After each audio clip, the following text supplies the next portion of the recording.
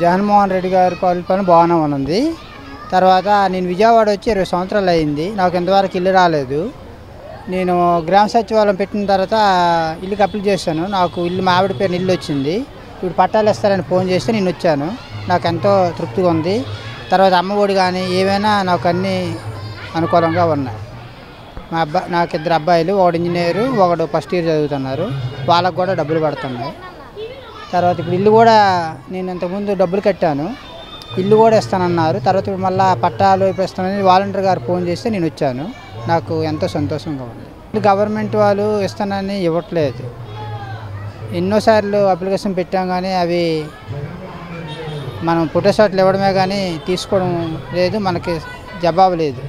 వీళ్ళు వచ్చిన తర్వాత పరిపాలన కొంచెం బాగానే ఉంది బాగానే చేస్తాం ఇప్పుడు ఒక మనిషి మంచి పని చేస్తే దానికి రాళ్ళు వాళ్ళు చాలామంది ఉంటారు. చెడ్డ గొడవలకి అవన్నీ కాదు కానీ ఇప్పుడు మట్టుగా ప్రభుత్వం బాగానే ఉంది. మాకు అను అందరికీ అనుకూలంగా ఉంది. తర్వాత మెయిన్ పాయింట్ ఏంటంటే ఇప్పుడు అందరికీ మహిళల ద్వారాగా ఏ కార్యక్రమమైనా ఇస్తున్నారు. డబ్బులు ఇవ్వాలన్నా ఏదైనా మగవాళ్ళు లేదు. ఓన్లీ ఆడవాళ్ళకి. చాలా మంచిగా ఉంది. మాకు మట్టుగా ఆనందంగా ఉంది. ఆ ఎడం సైకి కుడి సైకి తేడా ఉంది. వీళ్ళు ఏదైనా ఇంటికి వచ్చి వాలంటీర్లు పంపించి మీకు ఏటి రాలేదు ఇల్లు రాలేదా ఏం రాలేదన్నీ మీకు ఇంటికి వచ్చి కూడా వాలంటీర్ అమ్మ ప్రతిరోజు ఫోన్ చేస్తుంది. ఆ గవర్నమెంట్ వాళ్ళు ఉన్నప్పుడు అయితే మనం అప్లికేషన్లు ఆఫీస్కి ఇచ్చినా సరే వాళ్ళు ఎక్కడో ప- పక్కన పడేయడం పెట్టాము తర్వాత వస్తుంది తర్వాత రండి అనడం ఇలాగ ఎన్నో అవే. నాకు ఇరవై సంవత్సరాలు బట్టి ఇల్లు రాలేదు ఇప్పుడే ఇల్లు వచ్చింది. నాకు సంత సంతోషంగా ఉన్నది. అది కూడా మా ఆవిడ పేరుని ఇచ్చారు. నెక్స్ట్ మట్టుగా రెండు వేల ఇరవై నాలుగుకైనా సరే జగన్మోహన్ రెడ్డి ముఖ్యమంత్రి అవుతాడు. అది పక్కా గ్యారంటీ. అది ఎలా అది మహిళలు ఆడవాళ్ళు పట్టుదల ఉంది. వాళ్ళకి అన్నగా తమ్ముడుగా ఒక అందరికీగా శ్రీనాస్తంగా అందిస్తున్నాడు. ప్రతి కూడా మంచిగా చూస్తున్నాడు కాబట్టి బాగుంది.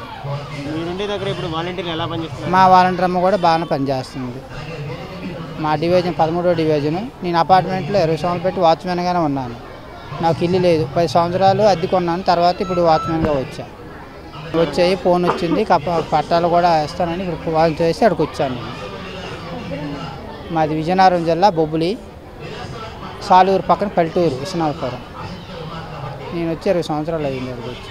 అన్ని పథకాలు బాగానే చేస్తున్నారు అన్నీ బాగానే ఉన్నాయి. మా అమ్మ ఒడి మాకు డబ్బులు పడ్డాయి. ఇప్పుడు కూడా పడతాయి రేపు తొమ్మిదో తారీఖున.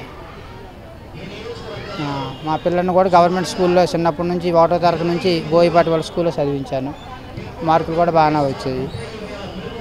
ఇప్పుడు కూడా గవర్నమెంట్ కాలేజీలోనే చదివిస్తాను. ఈ వీడియో గనుక మీకు నచ్చినట్లయితే లైక్ చేయండి షేర్ చేయండి. మరిన్ని వీడియోస్ కోసం మా ఛానల్ను సబ్స్క్రైబ్ చేయండి.